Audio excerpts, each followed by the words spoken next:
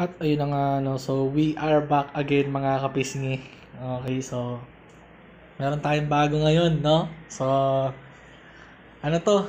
Ah, kung alam nyo na, ito ano to, fu- future farming to. Okay?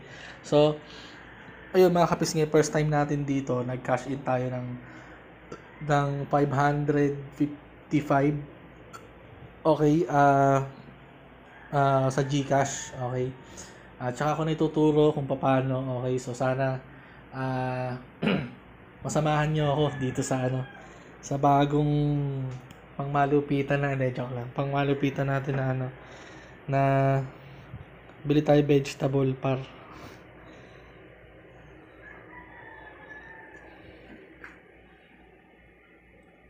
Yon. So, paano natin malalaman yan, no? Nasaan yun?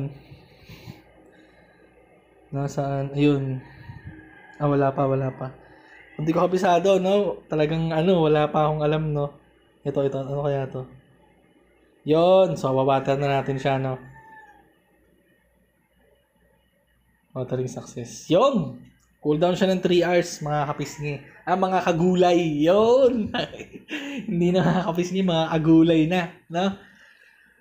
Yan. Ano to, ah, di ba nga, nag-ano ako, nag, ano ako dito ng 555, no? Ah, ngayon, kinonvert ko siya sa dollar. Tapos, ah, usually 500 lang eh. Ah, every 3 days to, malalaman natin kung magkano kikitain natin, no? So, yun lang mga kapisngi. Maraming salamat. Okay, ah, nag-umpisa pa lang tayo. Sana maging successful tayo. Sana kumita talaga tayo dito. No, so, yun lang mga kapisngi. Wala pa akong alam. I-explore ko pa. Gusto ko lang ipaalam sa inyo na nandito tayo sa ano. Ah, comment lang kayo sa baba para kung interesado kayo, matulungan ko kayo. Medyo, ano, medyo tawag dun, medyo maano, ma